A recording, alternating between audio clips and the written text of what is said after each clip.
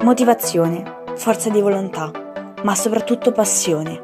Questa è la base dello sport. E questo è ciò che differenzia un atleta che pratica attività sportiva da uno che mette il cuore nello sport che ama. Non importa quante volte fallirà, se cade ha la forza di rialzarsi e usare la sconfitta come una leva per migliorare. È questo che significa avere grinta.